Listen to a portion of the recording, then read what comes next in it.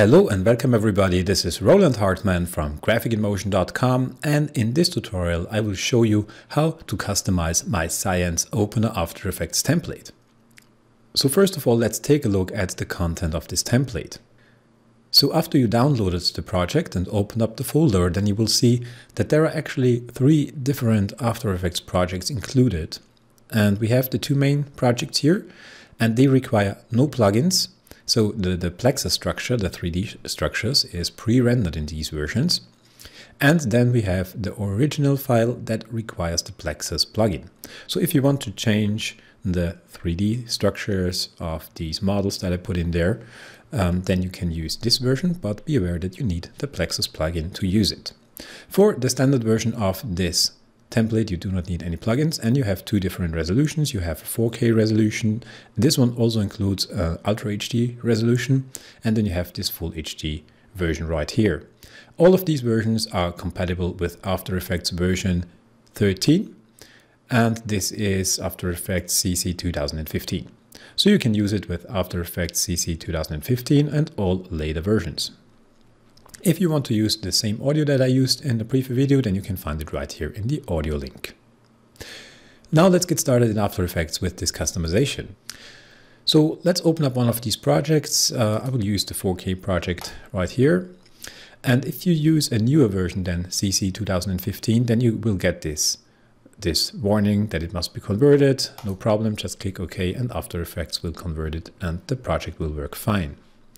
So by default, you see we are already in the setup composition and we can get started with the customization uh, process. First thing, if you want to use a logo in the end here at scene number five, it's called the end title, then you have to import your logo file. And I will show you how to do that. So you go to file and then choose import file.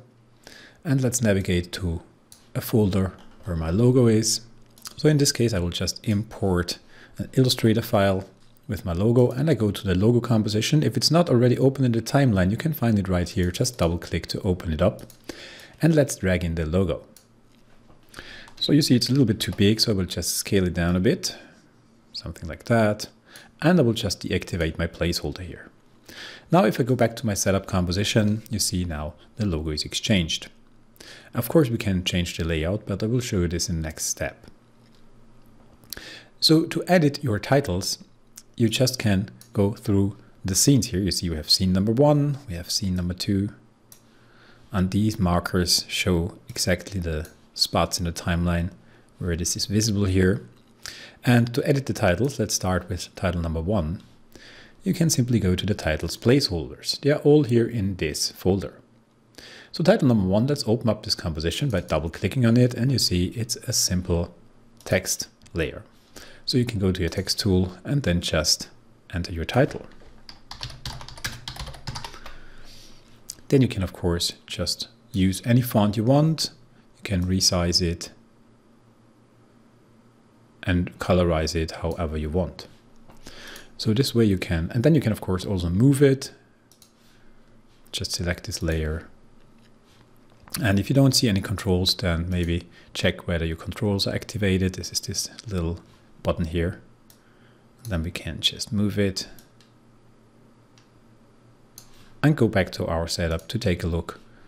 And now it's updated. So this is how you can enter your titles. And it's the same for all these titles. Now let me take a look at the last one, uh, scene number five. And actually we have to go to 13 seconds here to see it fully revealed. And this is exactly here, title number five uh, logo. So let's open up this one and you see there's the same title layer here that we can of course just manipulate and there is also a logo pre-comp. So I'll just change this layout a bit. So let's say I want my logo to be in the middle with a small tagline. So let's do that. First of all, I will scale this up to maybe 60% and I will just move it in the middle here. And you see that I have this cross here, I can line it up. Unfortunately in After Effects, if a layer is 3D, the align tools don't work. So if you try this, you will see that it doesn't work. It's a bit of a downside of 3D layers, but in this case, we need them so that we can create these cool fly-through animations. So I will just eyeball this.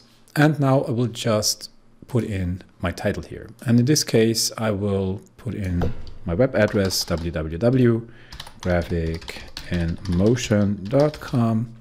And of course, this is now messed up because it's way too big. So let's just scale this down quite a bit, make it way smaller. Something maybe like 50 could be a nice value here. And I will just delete this one here. I don't need this. Okay, that doesn't look too bad. So let's make it a bit bigger.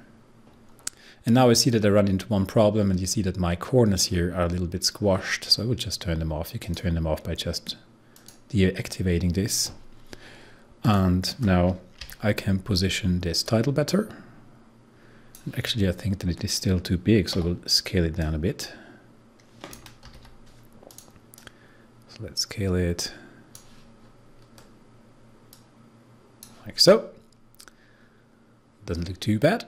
And now if I go to my setup composition, then you see in the end, I will just have my logo here. Actually, it's too small.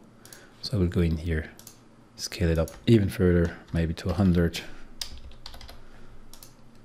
That's a bit better. And now let's put the title in here and make this bigger also. And then you see you have just a quite standard logo with tagline in the end of your animation. Okay, that looks really good. And this is nicely revealed in the end.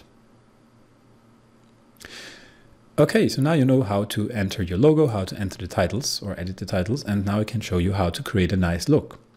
We have two layers that are important here. First of all, we have a color setup and we have a color correction. So I want to mention that the color correction has quite an influence on the look here. If I turn this off for a moment, you will see that actually the colors look quite different. And this is because I used a Lumetri effect and uh, played around with these creative styles here. So you can play around with these. They are really cool here. For example, if you choose this one and deactivate it again, you see they create really nice looks. And the standard one is this one here. I also like this a lot. And yeah, if you if it's important for you that you have really precise color values, then just turn off the color correction and then you can put in your colors through these options here. So let me go through these quickly. First of all, we have this logo fill color. And if you take a look my logo, when I imported it, it was colorized with colors. And here it is just white. And this is exactly this setting here. So you can just turn this on and then it will be in the original colors and you can turn it off and then it will be filled with color and you can specify the color right here. So you can also make it like this. I undo this now. Then we have the color of the points. The points colors are, let me go to a scene where we can see it right here, for example, on this virus 3D model here. We have the points and you can, for example, make these like purple, like so. So you can change the point colors here. Then we have the triangulation colors. The triangulation is the rest of the mesh here. So maybe if I make this like a bit of a turquoise style, then the crosses, these are these little design elements. You can change the color here. I will leave them at white. So if you change the dots here, you see these dots in the background here. If you change this color, it's a very subtle change. I will make them red. You see now they're red, but yeah, very subtle. I will leave it at white. The hexa pattern, that makes more difference. So if I change the hexa pattern here, maybe to greenish turquoise style, you see this changes the hexa pattern in the background. And then, of course, we have the background colors. And to change the background colors, let's start with background color 2 here. And maybe I want to create um, something like more in this direction here. Let's take a look. That looks quite good.